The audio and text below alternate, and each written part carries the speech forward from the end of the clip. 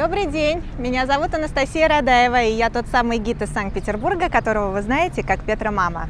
Сейчас я нахожусь примерно в 5000 километрах от Санкт-Петербурга, и за моей спиной шедевральное строение музея Лувр Абу-Даби. Почему Абу-Даби? Потому что мы находимся в Абу-Даби, в столице Арабских Эмиратов. Почему Лувр? Потому что именно под эгидой этого знаменитого французского музея пять лет назад здесь открылось такое представительство классического искусства на Ближнем Востоке. Именно французы дали в долгосрочную аренду ряд предметов искусства. Они помогали устраивать экспозицию здесь, они тренировали местный штат э, экскурсоводов, охранников, хранителей и так далее.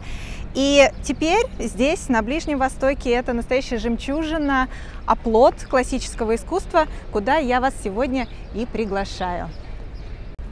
Основную экспозицию Лувра я вам покажу в следующем видео. Сегодня у нас задача другая. Стоит всего два дня, каких-то осталось до окончания работы совершенно сногсшибательной выставки, посвященной работам импрессионизма.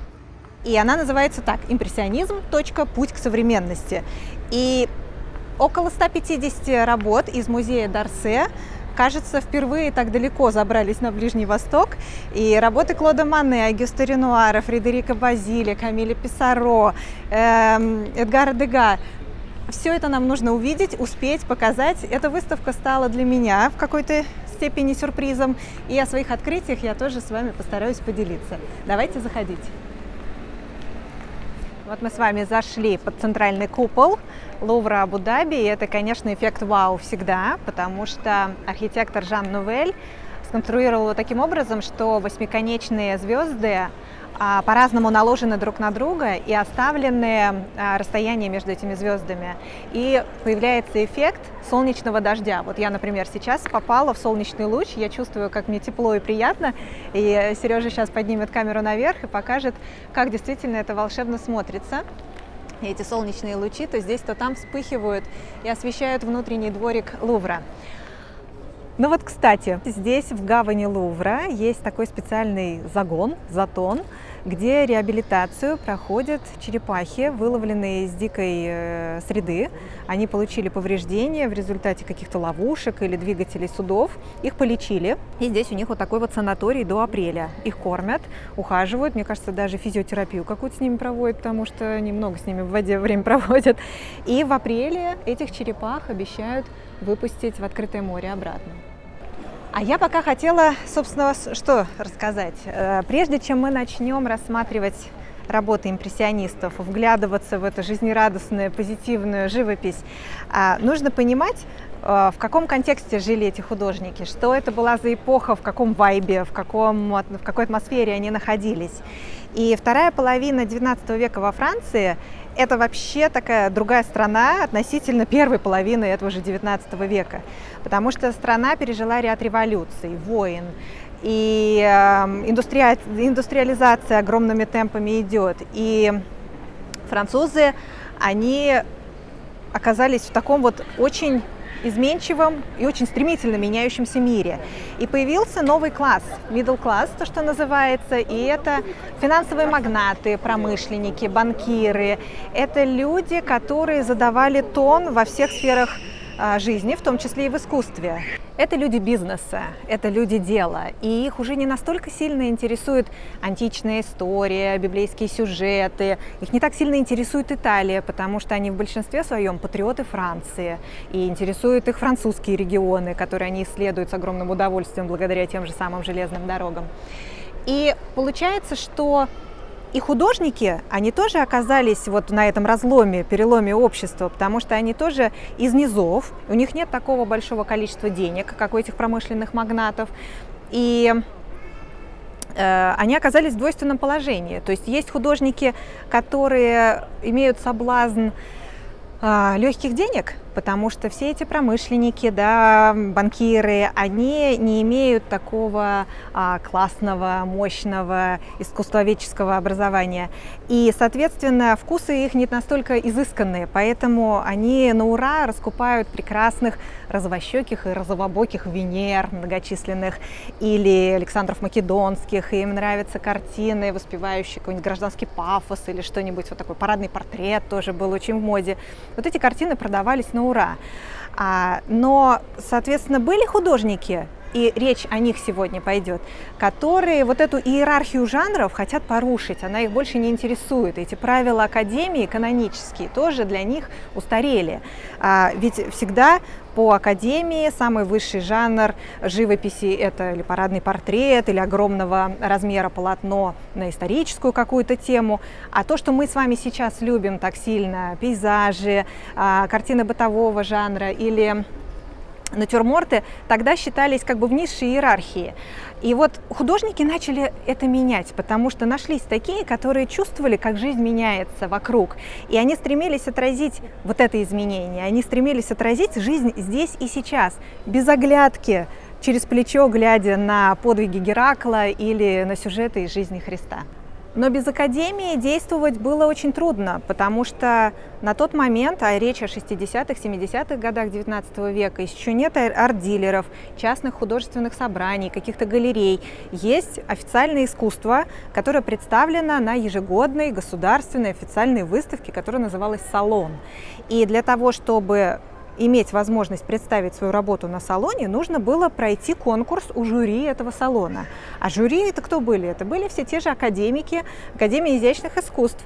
И получалось, что замкнутый круг. Если тебя не отбирают, твою работу в салон, то ты не имеешь права, не имеешь возможности о себе заявить, а тебе никто никогда не узнает, и ты не будешь иметь возможность свою работу продать. А никакого художника нельзя обвинять в том, что он хочет продать свои работы, чтобы прокормить свою семью. А, а отбирали, получается, на этот салон только работы вот те, о которых я говорила. Венеры, парадные портреты, какие-то выверенные сюжеты. Вот эта живопись салонной мы ее называем, и часто, когда говорим о ней, немножко так снисходительно отзываемся, потому что это уже такая выверенная, доведенная до такого совершенства живопись, что это уже такие фарфорные работы, как будто фотографии, то есть предела достигло мастерство, и что дальше было совершенно непонятно. Совершенно очевидно, что что-то должно измениться, но что, как, каким образом, неизвестно. И вот тут я наконец подобралась к 1861 году, когда в мастерской, в свободной мастерской профессора Глиера встретились четыре молодых человека. Клод Мане, сын э, лавочника из э, Гавра, Агюст Ренуар, сын французского портного, Фредерик Базиль, сын виноградаря из юга Франции. И, кого я забыла, Альфред Сислей, сын английского подданного коммерсанта, который проживал э, во Франции. И вот эти четверо молодых людей, которые стремились связать с живописью своей жизни, стремились научиться, но в то же время отвергали каноны Академии, они встретились там в 1961 году и еще не знали, что им предстоит совершить переворот.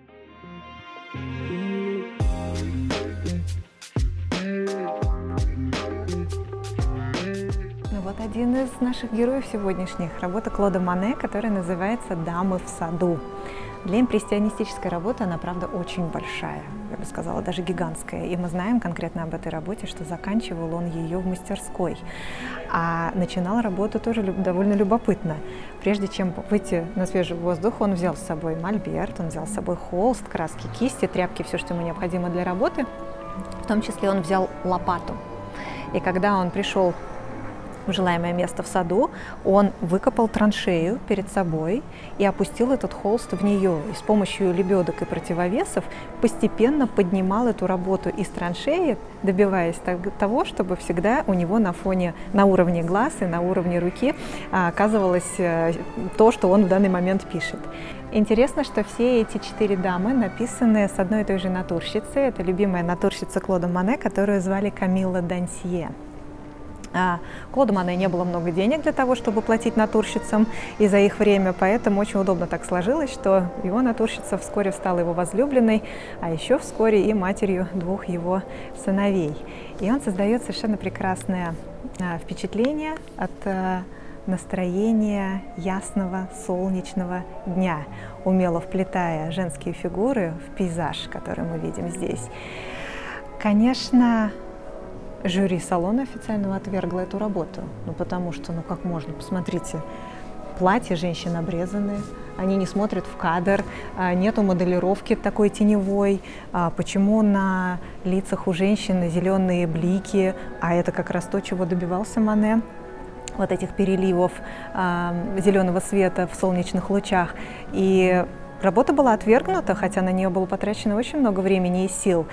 И к тому моменту Камила уже ждет от Мане ребенка, и он скрывал эту связь от своих родителей до поры до времени, потому что находился на их обеспечении. И вот, э, закончив эту работу, Мане, узнав о беременности, отправляется к Гавр на разговор с родителями. И, конечно, они не одобряли этих отношений, потому что Камилла всего лишь натурщица, и она явно ниже его. По социальному статусу семья была достаточно обеспеченная. И они отказывают Клоду Мане в обеспечении. И молодая семья, конечно, в очень стесненных обстоятельствах оказывается.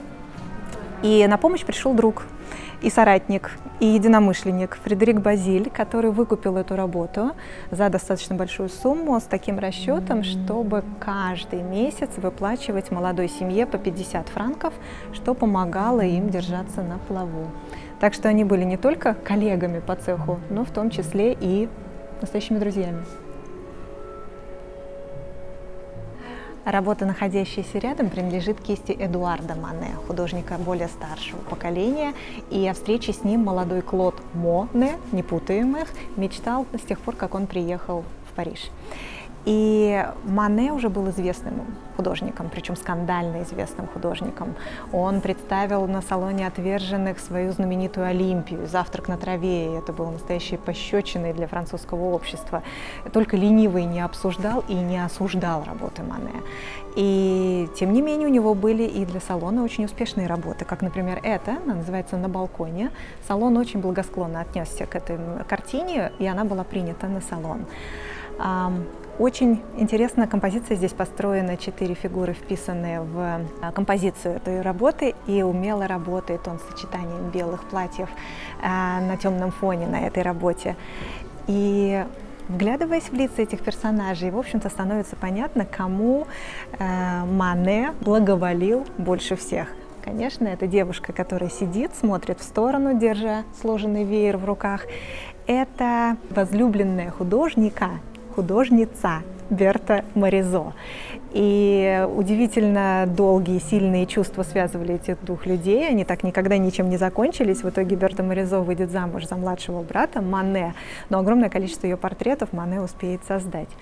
А здесь есть еще один маленький персонаж, который очень радует детей. Крошечная собачка со своим мячиком там внизу. И еще интересный факт, что мальчик, который почти не прописан там на заднем плане, он несет поднос с э, каким-то кувшином, сложно рассмотреть. Это внебрачный сын Мане, а, его звали Леон Каэлла, которого художник так и не, официально не признает до конца его жизни. То, что отличало живопись Эдуарда Мане, это психологизм, яркость, сочность цвета, это всегда отмечали его современники. И если на балконе хорошо был принят э, салоном, то другие работы, конечно, отвергались в основном. И после того, как отвергли его Олимпию, «Завтрак на траве», Художник уезжает в Испанию на родину Гою, Веласкеса, для того, чтобы вдохновляться работами старых мастеров. И отсюда пошла как раз вот эта вот его серия на испанскую тему. И корида, и цыган, и натюрморт в таком вот уже в испанском стиле. Базиль любил работать на пленэре. Любимым сюжетом у него было изображение человека на фоне природы. А, по сути, он не был импрессионистом, никто тогда из них не был импрессионистом, но интерес к свету и цвету и умелая работа с палитрой, яркие, насыщенные солнцем краски, все это присутствовало на его работах.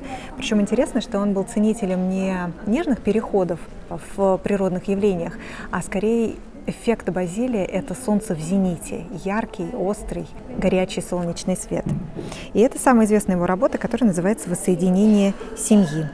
Постепенно творчество Мане приобрело известность э, в кругах э, парижской интеллигенции и думающих людей, и вокруг него собралась так называемая банда Мане. И собирались они в кафешке, которая э, находилась на улице Батиньоль, и называли их Батиньольской шайкой или Батиньольской группой. И кто туда входил? Собственно, сам Мане, А, Клод Моне, молодой, Агюст Ренуар, Фредерик Базиль. Были несколько писателей, которые там же к ним примкнули. Среди них, например, известный Эмиль Золя.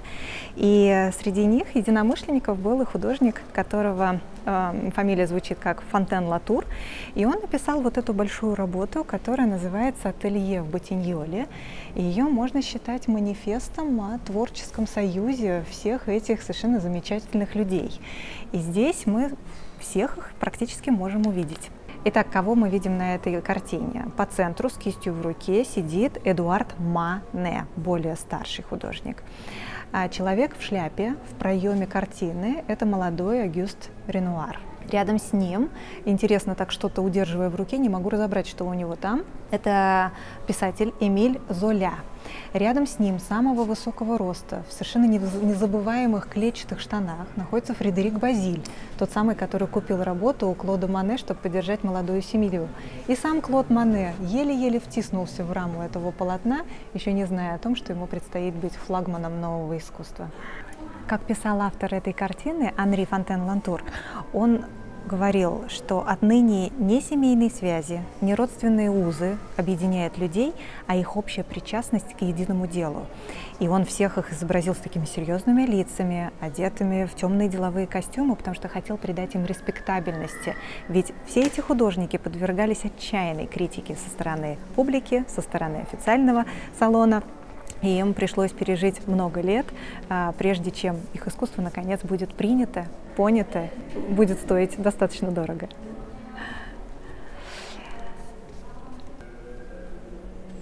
Чем мне нравится эта выставка, что здесь представлены работы не только импрессионистов, но и их единомышленников, современников. То есть работу, которую мы только что увидели, Анри Фонтен Латура, она в таком довольно классическом виде изображает этих героев, о которых сегодня идет речь.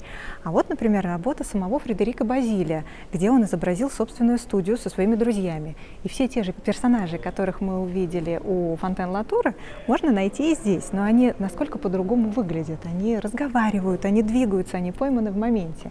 Давайте посмотрим, кто здесь изображен. Ну, легко определить самую высокую фигуру. Это, конечно, наш любимый Фредерик Базиль. Здесь не в клетчатых штанах, а в обычных, но по росту его всегда очень легко можно определить. Кто с видом знатока смотрит на полотно с палочкой и с тростью в руке? Это Эдуард Мане, художник старшего поколения. А рядом с ним, а, прислушиваясь к каждому слову а, старшего, Клод Моне. На лестнице слева стоит Эмиль Золя, тот самый писатель, который в своем романе, кстати говоря, позже опишет художника-неудачника, в котором многие из наших сегодняшних героев узнают себя и рассорятся с Эмилем Золя в результате. Но пока в явно дружеской абсолютно а, обстановке он беседует с сидящим внизу Агюстом Ренуаром. Пока еще все в порядке. И это большая, огромная, залитая светом пространство. И здесь Фредерик Базиль изображает те работы, которые он купил у Клода Мане в свое время, и те работы, которые он написал сам. Как я уже говорила, сегодняшних наших героев связывало не только искусство и новые идеи относительно его, но и самая настоящая дружба. Например, на этой работе Фредерика Базилия, которая называется «Импровизированный госпиталь», мы можем увидеть Клода Мане с ушибленной очень сильно ногой. История была такая, что Клод Мане однажды отправился на пленэр, и рядом с ним оказалась группа английских спортсменов, которые бросали какой-то спортивный снаряд а, металлический. И вот этот предмет прилетел в голову бедному Клоду Мане, и удар был такой сильный, что было даже подозрение на перелом и на раздробление кости. И Фредерик Базиль, так как в свое время учился а, в медицинском факультете, он устроил такой действительно импровизированный госпиталь, устроив систему подъема этой больной ноги с помощью противовесов, для того, чтобы нога была поднята и отек быстрее спадал, а, подложил ему такой специальный валик и изобразил Клода Мане, который абсолютно несчастный, лежит э, и пропускает очередной солнечный день и не имеет возможности выйти на пленэр и рисовать. Ну и, собственно, близко Клода Мане мы можем на соседней работе авторства Ренуара увидеть. Вот таким был молодой бунтарь Клод Мане. Неверно было бы утверждать, что импрессионисты были первыми, кто вышел на пленэр. Старшее поколение Э, лет за 15 до наших сегодняшних героев, Клода Мане, повторю еще раз, Ренуара, Сеслея, Писаро, Базиля, старшее поколение вышло на пленер и называлась э, их группировка «Барбизонцами», школа барбизонцев. Откуда пошло такое интересное название? Примерно в 40 километрах от Парижа находится огромный лес Фонтенбло. Ну, это такая не Беловежская пуща, конечно, но по французским меркам это очень большой такой а, массив леса, где есть самые разные ландшафты. И тебе скалы, и опушки, и лужайки, и болота, и ручьи, и поля, и, в общем, чего там только нет. И рядом с этим лесом находится деревня Барбизон. И находясь там, было удобно выходить на пленэр в сам лес и писать работы. И Теодор Руссо, э, Диас де ля Пенна, Камиль Каро были теми самыми художниками, которые вошли в историю живописи как барбизонцы. Им не интересно было ездить в Италию и писать идеальную э, природу Италии, как всегда считалось, что там самое голубое небо, самые белые облака, самые красивые развалины. Нет, они были патриотами, и их интересовала родная им французская природа. Причем такая не броская, не пышная, не какая-то яркая. Это или рассветные краски, закатные краски, какое-нибудь болотце, какая-нибудь манящая, уходящая вдаль тропинка. Что-то такое скромное, что раньше, может быть, даже и не привлекало художников, потому что, ну а что здесь, ничего такого нет. Но барбизонцы стали революционерами в том плане, что они первыми вышли на пленэр и часто заканчивали работы там же на свежем воздухе и передали эту эстафету импрессионистам. Вот мы стоим у работы знаменитого барбизонца, которого звали Камиль Каро. Я хотела сказать о том, что в то время, когда барбизонцы ездили в эту деревню Барбизон, чтобы писать виды леса Фонтенбло, еще не существовало железных дорог в таком количестве. И барбизонцам, в общем-то, туго приходилось, потому что на почтовой карете долго туда ехать, приходилось оставаться ночевать, потому что инфраструктуры никакой там не было а, для того, чтобы быстро вернуться назад. Но развивались активно железные дороги, и импрессионисты, уже когда начали ездить в этот лес Фонтенбло, они уже совершенно в других реалиях оказались, потому что можно было утром сесть на электричку, доехать до Фонтенбло, вечером вернуться обратно в Париж, все это удобно, быстро, заранее договаривались, где они пропустят бокальчик вина у мадам Жюли, съедят свой ланч у господина Николя и так далее. То есть все уже было а, заточено на посещение этого леса туристами и художниками. даже шутили о том, что в лесу Фонтенбло чаще можно было встретить человека с мольбертом, чем грибника или охотника. И благодаря этому же развитию железных дорог и начал развиваться морской туризм в том числе. И побережье Нормандии стало застраиваться фешенебельными отелями, куда приезжала публика на выходные для того, чтобы подышать полезным морским воздухом. Вот, например, вот эта работа Клода Мане, гостиница где он провел свой медовый месяц с женой Камиллой, э, показывает вот это нормандское побережье, какими острыми, быстрыми мазками он изображает это движение флагов, что действительно у нас есть ощущение, что его треплет ветром. Вообще работы импрессионистов, конечно, нужно рассматривать на расстоянии 2-3 метров. Именно на этом расстоянии наш мозг успевает обработать эту информацию и сложить изображение во внятную картину. Если мы будем смотреть очень-очень близко, то э, никакого другого слова, кроме как какая-то мазня, да, иной раз мы и подобрать не сможем. Эти небольшие работы принадлежат кисти знаменитого Эжена Будена, человека, который вдохновил Клода Мане на живопись. Жен Буден в свое время приехал в Гавр и познакомился там с подростком Клодом Мане, который промышлял, э, писал шаржи на горожан. И он увидел талант в этом мальчике и вдохновил его на то, чтобы тот отправился в Париж и учился, и развивал свой талант.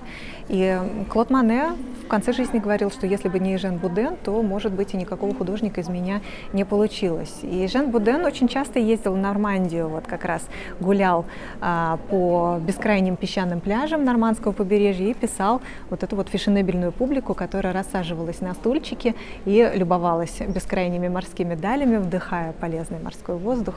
Его работы такие жемчужные, потому что он не любил показывать открытое, чистое голубое небо, а всегда немножко затененное облаками.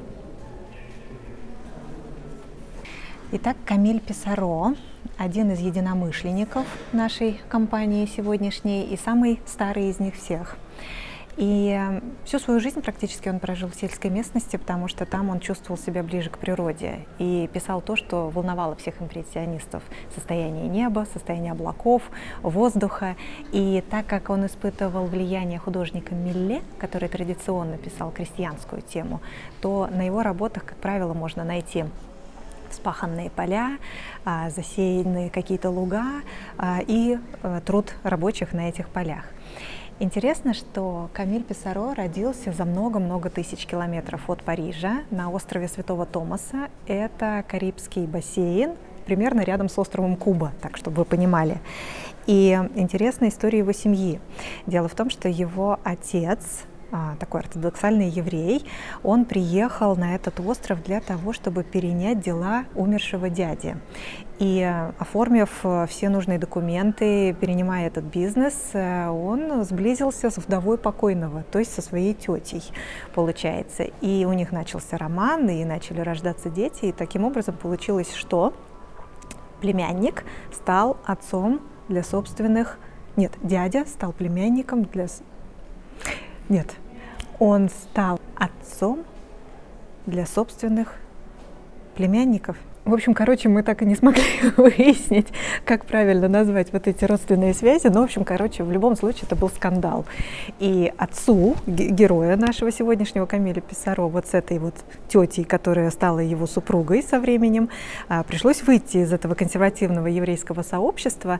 И вот уже в браке у них родилось еще несколько детей. Один из них наш герой Камиль Писсаро. В общем, вот такая вот интересная предыстория. Но точку мы здесь не ставим, потому что в свое время, когда Камиль Писсаро вырастет, он женится на медсестре своей матери. Так что вот это вот Санта-Барбара будет переходить на следующее поколение. Это такие интересные, занимательные моменты. Когда бы Камиль Писаро не писал пленер, свои поля, вспаханные какие-то сельские угодья, всегда воздух, всегда небо будет побеждать людей. Люди будут такими маленькими стафажными фигурками, которые просто помогут нам сориентироваться в масштабе полотна. Но наше внимание всегда будет вот сюда, наверх, в облака, а, в трепещущие э, веточки деревьев и так далее. И также, что касается этой работы, здесь интересная параллель а, меня всегда очень интересует. Смотрите, что а, эта работа называется «Сено» и прачечная. Прачки были вообще таким неотъемлемым, характер, неотъемлемой характерной чертой строящегося Парижа. И, ну, естественно, город растет, огромное количество людей, водопровода, канализации до поры до времени нету, нужно весь этот город обстирывать. И этим занимались, это тяжелой физической работой женщины. И это был действительно такой титанический труд, потому что это нужно было мощную спину иметь, руки, это все в горячей воде, портилась кожа. Ну, в общем, конечно, действительно мало приятного.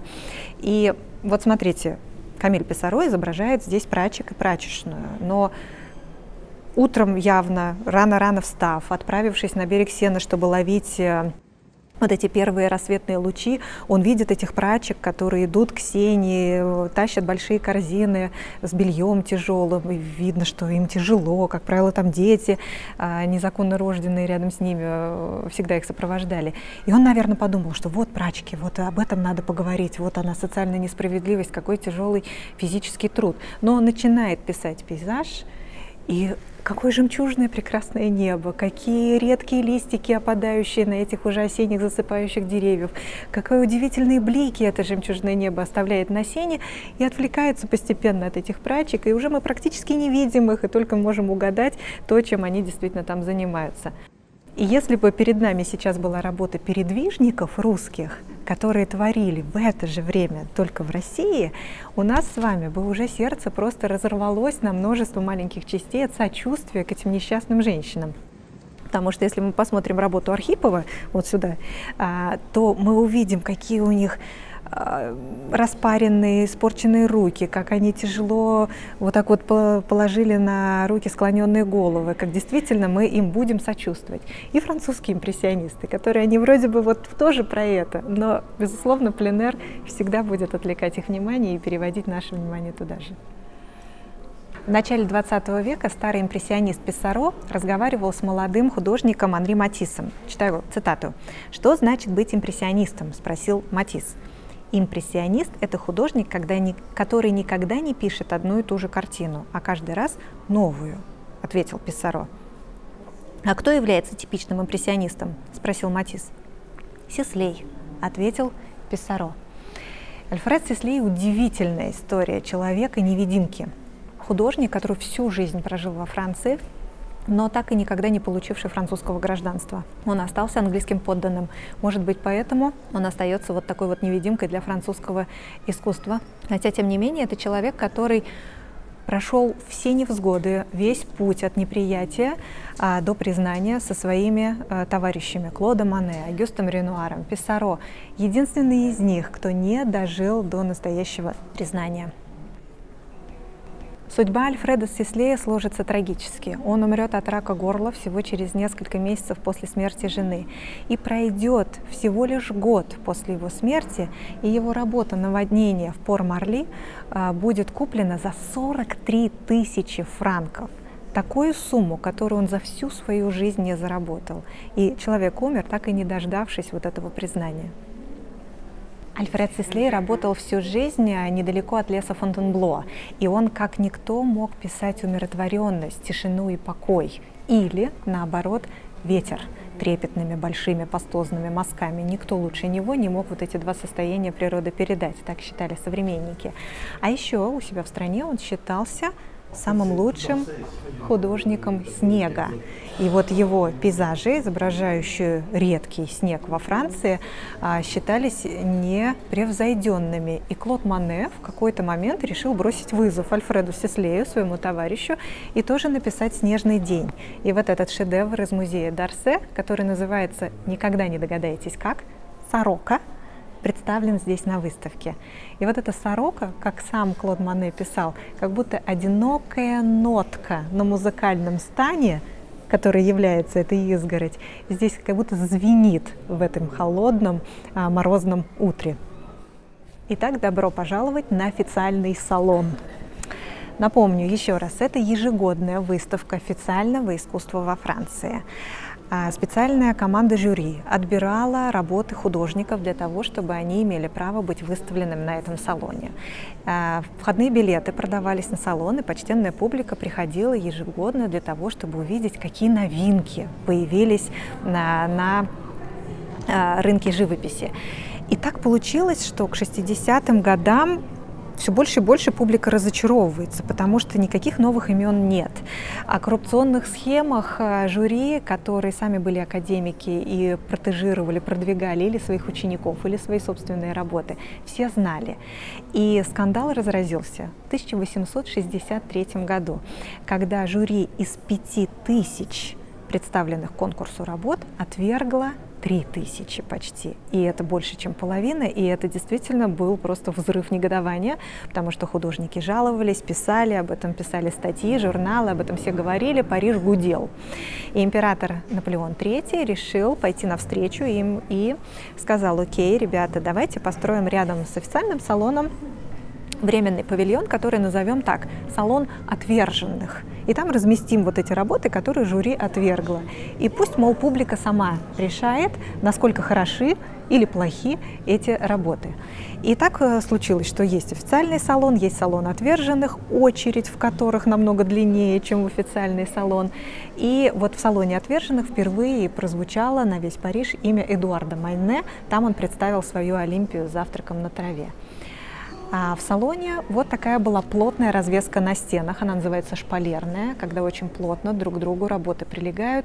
И это, как правило, очень большой формат. Это библейские сцены, это какое что-то из истории про гражданский пафос, или какие-то бесконечные Венеры, или утонченные такие классические привычные пейзажи. И наши молодые герои, Клод Монне, Агюст Ренуар, Альфред Сеслей, Писаро, они понимали, что со своим искусством, со своим революционным видением живописи им что в салон, что в салон отверженных, в общем-то, очень сложно попасть. И поэтому спустя 10 лет оттачивания своих техник они открывают свою независимую выставку. Им пришло решение, они почувствовали себя достаточно уверенными для того, чтобы открыть собственную независимую выставку. То есть не стучаться в закрытые двери салона, не бодаться и доказывать официальному искусству о том, что вот они такие революционеры, а, собственно, быть уже независимыми в этом плане. И в 1874 году, собственно, они это смогли реализовать. Самая большая была проблема, конечно, связанная с помещением, потому что у всех них денег недостаточно, даже чтобы семьи прокормить, а тут уж аренду помещения, желательно в центре Парижа, стоило бы колоссальных денег. И им навстречу пошел их товарищ, фотограф по фамилии Надар, который бесплатно дал воспользоваться своим помещением фотомастерской, располагавшейся на бульваре Капуцинок. А это самый центр Парижа, богемный район район. И пошла работа. Что такое выставка, подготовка к выставке? Это нужно сделать каталог, это нужно отобрать работы, это нужно подписать эти работы, создать этикетки. Эта работа была поручена младшему брату Агюсту Ренуара, и для подготовки к выставке художники разъехались кто куда, чтобы писать новые работы или отбирать из имеющихся. И Клод Мане поехал в свой родной Гавр для того, чтобы получить новую порцию вдохновения и написать новые работы вот как раз для этой первой выставки независимой.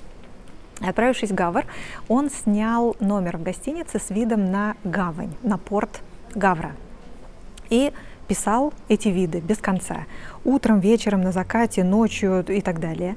И когда он приехал обратно в Париж и брату Агюсту Ренуара показывает все эти работы, они все примерно об одном – порт Гавра, гавань Гавра, торговые судна, суд, с, торговые судна, я запуталась, торговые корабли в порте Гавра и так далее. Все однотипные. И Ренуар младший ему говорит, ну так нельзя.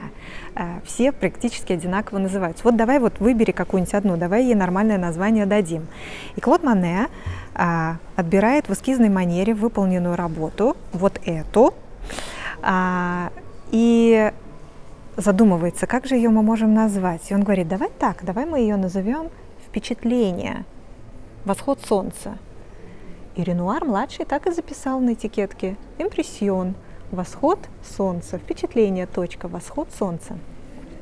И знал ли кто-нибудь из них тогда, что именно эта работа станет поводом для того, чтобы всю эту группу художников впредь называть импрессионистами? А как это случилось? Когда выставка открылась, естественно, она была провальной, но никто практически не пришел. Зато пришел очень важный, оказавшийся важным для них человек, критик, которого звали Луи Леруа. А для своего журнала «Шаривари» он по результатам посещения выставки напишет абсолютно разгромную, язвительную, сатирическую статью об этих работах. Он ее представит таким образом, как будто он, журналист, взял с собой какого-то солидного художника признанного. Они пришли на эту выставку новых художников, и вот от каждой новой картине этому солидному художнику становилось все хуже и хуже. И к моменту, когда они увидели эту работу Клода Мане, которую назвали «Впечатление. Точка. Восход солнца», этот э, матерый художник окончательно сходит с ума, потому что он воспринимает эти работы как просто вытертые грязные кисти об холсты и какое-то просто безрассудное что-то изображение. И Луи Леруа пишет, что вот эта вот команда художников, вот эти вот импрессионисты, а, назвав их по вот этой одной единственной работе Клода Мане, они вот, мол, настолько бездарны, что, в общем, никогда не ходите на эту выставку. Ну, черный пиар тоже, хоть какой пиар, на выставку все-таки посетило множество людей, но, конечно, эти работы не были приняты, зато раз и навсегда название «импрессионисты» приклеилось к этому движению. Единственной женщиной-художницей на этой выставке станет Берта Моризо. А, помните, это та самая, которая изображена была на работе Эдуарда Мане на балконе, сидящая. Лично для меня стало открытием ее творчества, так как ее работ в России нет. Э, художница, которую, в отличие от ее коллег-мужчин, благосклонно принимали в парижском салоне 6 лет подряд, и она примкнула к группе отверженных, уже будучи известной. Ее фишка – это уютные семейные лирические сюжеты картин. То есть если Мане неистово ищет свет и воздух, Дега тщательно исследует движение человеческого тела, то Моризо пишет совсем неуловимое – свет и движение души. Если видите балерин на полотне, это, как правило, всегда Эдгар Дега. А для его творчества очень характерны смещенные ракурсы, неожиданные позы, обрезанные части тел. А, такое ощущение, как будто вот он находится в гуще событий, и вот фотообъектив свой, вот то, что вот он ловит, он без сожаления режет все остальное, оставляя по центру только самое важное. Без конца совершенствовал свою работу. Его друзья шутили, что единственный шанс вообще добиться того, чтобы Дега закончил эту работу, это вообще отобрать эту работу у Дега.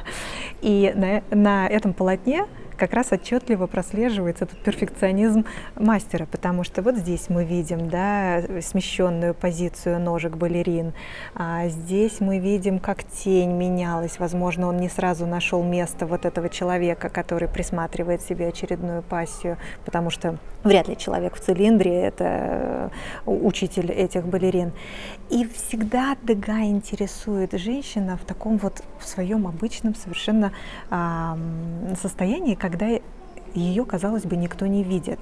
То есть мы всегда привыкли воспринимать балет как что-то такое совершенно идеальные позы, идеальные костюмы, э, кажущаяся идеальная легкость этого всего. Дега видел, так как часто ходил за кулисы, какой-то тяжелый труд. Поэтому балерины у него подтягиваются, разминают мышцы, чешутся, они о чем-то задумались, отведя глаза в сторону. И это всегда дает вот это ощущение присутствия в моменте. То есть это тоже импрессионизм. В этой работе Эдгара Дега «Женщины-гладильщицы» он показывает, по сути дела, два действия одного и того же человека, где одна женщина с силой, напряжением давит на утюг, разглаживая складки на белье, а вторая уже подтягивается и зевает. То есть кажется, что она это действие уже прошла. И к вопросу о тех же самых прачках, которые писал Камиль Писаро. Глядя на этих женщин, на эти розовые кофточки, желтый платок, у нас, ну, у нас нет такого ощущения, что это какая-то трагедия, что наше сердце сейчас разорвется от сочувствия к ним. Это крепкие, добротные женщины, которые зарабатывают, они сами себе работницы. И в этом отличие между живописью импрессионистов и русских передвижников ничто, абсолютно ничего не предвещало того, что эта работа Поля Сезанна, которая называется «Дом повешенного», будет куплена сразу же на этой выставке, а, независимой выставке импрессионистов. Кстати, я не сказала, что они очень интересно назвали свое сообщество. Они назвались так «Анонимное общество живописцев, скульпторов, граверов. Точка» очень такое запоминающееся название. И что-то в этой работе Сезанна есть, что беспокоит нас. Смещение планов, кусты, которые выглядывают из-за серой, э, из-за серой стены, кажутся вдруг, оказываются ближе к нам. И этот дом с трещиной, запущенный, который, кажется, разваливается, где когда-то покончил с собой человек, он тоже, этот дом, как будто висит в пространстве. Ощущение тревожащее нас, беспокоящее.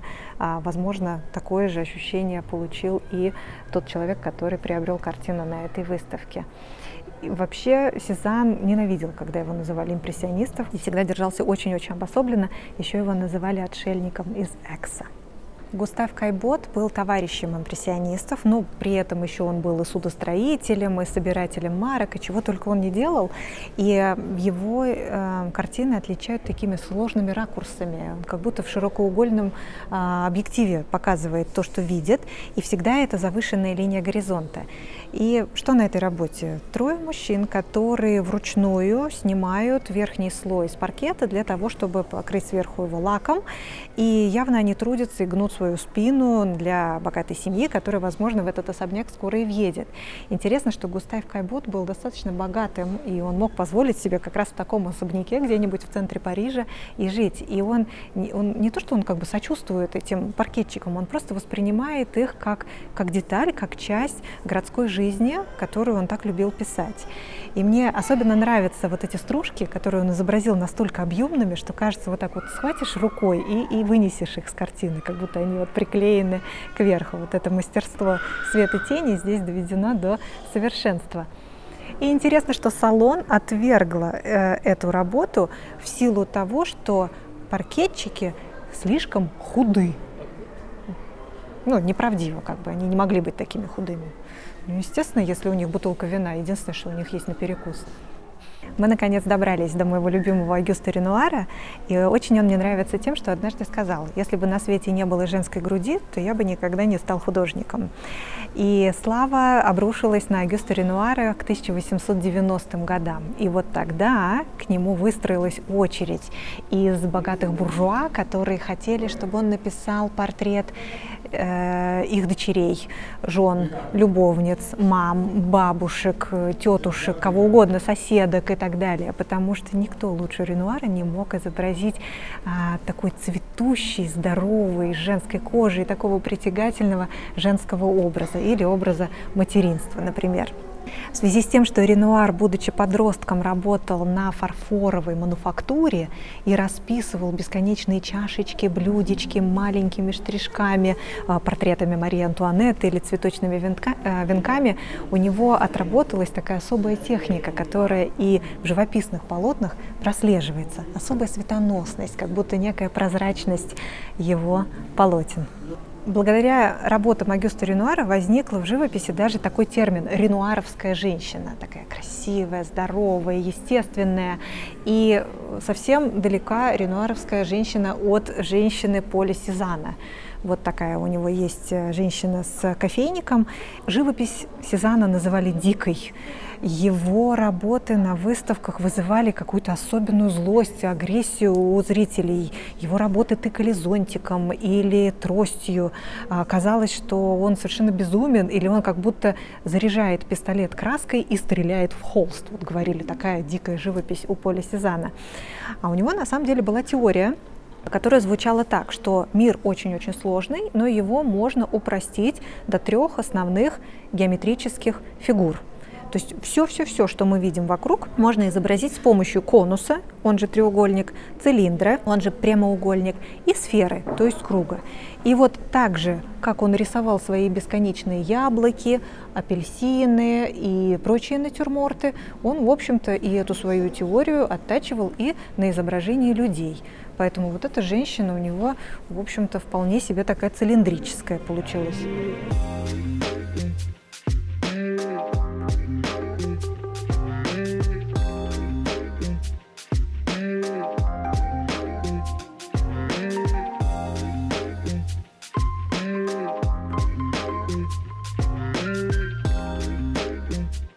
какой-то момент Клоду Мане пришла в голову гениальнейшая идея начать писать серии. Это значит, что он выбирал один и тот же объект и писал его под разным освещением то, как он воспринимает этот объект при ярком свете, при тусклом свете, утром, ночью, днем, в туман, когда у него болит голова и так далее. И вот однажды он отправился в город Руан, снял номер в отеле, который окнами смотрел на фасад Руанского собора и писал его до бесконечности. Ставил будильник на 4 утра, в 9 утра, в 12 часов дня, при разных погодных условиях, днем, ночью, летом, зимой и так далее. А, несколько десятков изображений Руанского собора. Это одна и та же стена. Обратите внимание, один и тот же ракурс он написал под разным освещением. И своей второй жене, Алисе Шеде, он писал письма. Говорит, что я когда ночью уже ложусь в постель и закрываю глаза, этот Руанский собор как будто наваливается на меня, придавливает меня своей тяжестью, потому что я уже ничего кроме него видеть просто даже не могу. И эта идея это сработала. Когда публика увидела действительно вот эту тонкость передачи атмосферных явлений, света и цвета, они поняли, в чем суть импрессионизма. И это помогло Клоду Мане начать продавать свои работы. В какой-то момент, уже став известным художником, Клод Мане со своей второй женой и большим количеством детей, общих и не общих, они переселились в местечко Живерни. И вот в Живерни Клод Мане пригласил природу к себе.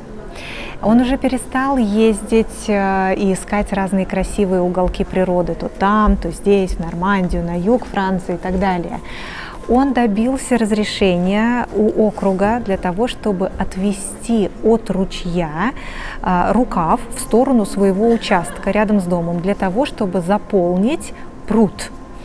Этот пруд он засадил всеми известными на тот момент кувшинками, водяными лилиями, нимфеями. Он высадил плакучую иву красивую. Вот она, как раз за моей спиной. И цветники везде, они полностью цветы покрывали весь этот сад в Живерни. И Клод Мане поставил свой мольберт на берегу этого пруда, и с утра до вечера любовался вот этим микрокосмосом, который на отражении пруда э, был виден. И уже ничего его практически не интересовало. И самая его известная, самая большая серия, последняя, это серия его кувшинок. Множество десятков изображений этих кувшинок, этого сада в Живерне. И закончилась эта серия тоже очень-очень так сильно, я бы сказала, потому что вместе со своим другом Жаком Клемансо, государственным деятелем Франции того времени, они задумали сделать огромные панно, изображающие эти кувшинки, которые Мане передал в дар государству Франции в память об окончании Первой мировой войны э, и в память о погибших французских солдатах а, за годы войны. Итак, я надеюсь, что вам понравилась эта выставка импрессионистов, которую организовал Лубр Абу-Даби. И вообще, я, честно говоря, не знаю ни одного человека, которого бы импрессионистическая живопись оставила бы равнодушным. Потому что она легкая, она светлая, она воздушная, она вся про солнечный свет. И мне бы очень хотелось, чтобы вы для себя вынесли, собственно, главное, какую революцию импрессионисты в живописи совершили. В их работах перестал быть главным сюжет – какая-то мораль, какая-то идея, какая-то история. Этого всего больше не было. Импрессионисты передавали на холсте то, как они видят предмет, а не то, как этот предмет по факту выглядит. Спасибо за внимание. С вами была Анастасия Радаева. До новых встреч!